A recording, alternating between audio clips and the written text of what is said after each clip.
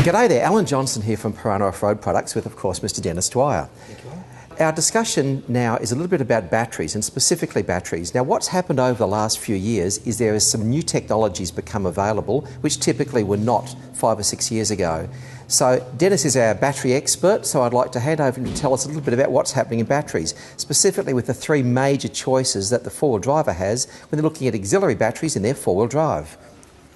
Terrific, thank you, Alan. Well, yes, we do have more choice today than we've ever had before. And now we're looking at batteries with not just a starting and deep cycling, but now we've got different technologies to consider. And we'll cover those one by one as we go through. But first of all, let's just cover the traditional flooded lead acid battery that we've all been used to and we're currently using in our vehicles today. Here we have your traditional deep cycle battery, which is your reliable battery, good energy storage, robust design to give you that energy for running your refrigerators and other items and accessories. We then move across to the hybrid style. This has become a more popular style of recent times where you get the advantages of starting along with cycle duty. And this has become a very popular battery and is even used in a lot of commercial transport. Then, of course, your classic starting battery. Now, this battery is clearly your starting battery, high energy performance, and ideal for your winching as well as your starting.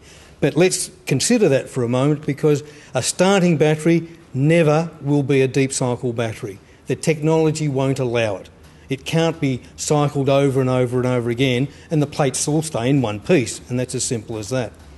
And that covers your basic two or three different types of batteries suitable for your four wheel drive. You'll notice most of these are all in the 12 inch in the old money or 300 mil long case, which is a very, very popular battery shape and style for your four wheel drive. And some of those drop down to the 265 mil, which is becoming popular in some of the imported vehicles.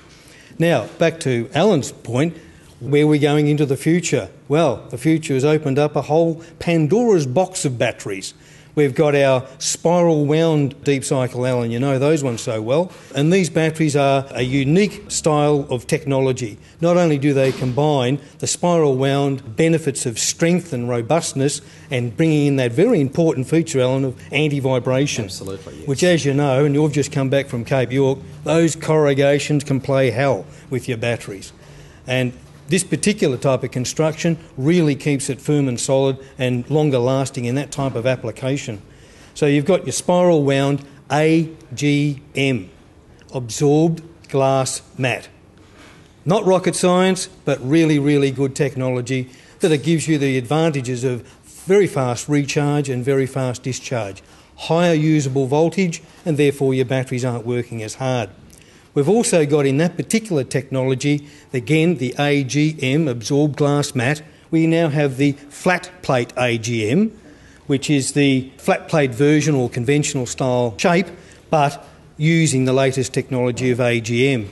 With that particular one, it's usually better used in the caravans, Yes. camper vans, and also in the back of vehicles where we can't fit them up under the front. Like this thing here. Like that very one there, an ideal situation. And again, you- if you Cape York trick, you notice with the camper trailers, they use batteries in their trailers quite significantly these Lots days. of flat plate AGMs. Not unusual to see two batteries a trailer, Alan? Exactly. Exactly right. And that flat plate AGM is totally sealed and very safe to use in an enclosed location. Unlike your normal conventional batteries, there's no free acid to spill out and cause corrosion and all the rest of it. issues.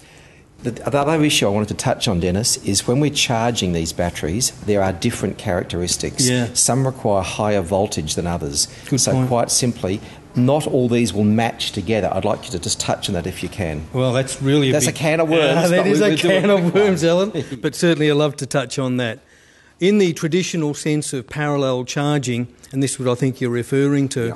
In parallel charging, when we sometimes match up one or two batteries on the auxiliary, we would like to have them the same. Yes. They've got to be a similar capacity. We've got to have a similar technology, and this is not an old wives' tale. No, no. You know, we've all heard it, and people, ah, that's all for the birds. That's a, it is absolutely true. It will tank your batteries. You will not get a satisfactory charge, and you will not get an optimum rate. Now, what we didn't mention with charge rates, Alan, was the flat plate AGMs and the spiral wound AGMs. These batteries are sensitive to charge. Absolutely. And they do have to put out your 14.2 volts, 14.4 volts, Yes. which, by the way, your modern motor car is more than capable of doing. Yes. Maybe not some of the older cars, and that should always be checked before you fitted them as auxiliary batteries. Now, your lead acid batteries, your flooded lead acid batteries, they're probably a little bit more open to a wider charging regime, and they'll charge between 13.8 and 14.4 volts. More tolerant. More tolerant, absolutely, that's a good word. Mm.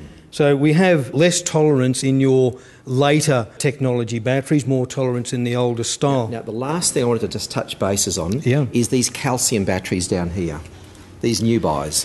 The new entrance to the, The new entrance into the market, yes. Yes. A little bit of information, Jess, because people do talk about them a lot and people pump them up as being the greatest and best thing, but not for older cars. And I think we should just explain why that is. That's a very good point, Alan.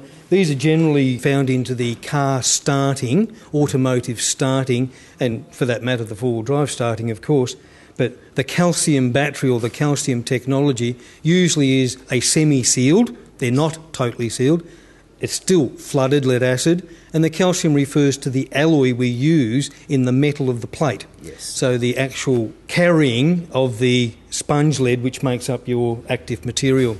Now, these batteries are less tolerant to undercharge.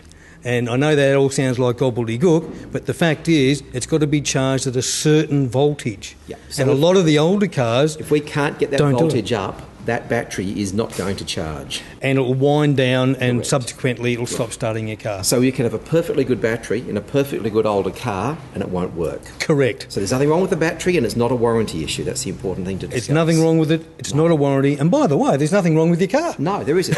Incompatibility. Incompatibility. And this is what this is about. There are technologies that Absolutely. you, as the consumer, need to be aware to understand what's going on so you get the right thing for your job. Just like tyre technology's changed, so has battery technology. And I think pretty much into the future, Alan, we're going to see more advances. will and particularly as we launch into the electric car future, it is going to bring us more modern technologies, which we'll no doubt see in the normal combustion motor market as well. Absolutely. Thank you very much, Denis. I hope this has been some help to you guys. If you need any further information, feel free to contact us or any of the major suppliers. We're there to help. Thank you.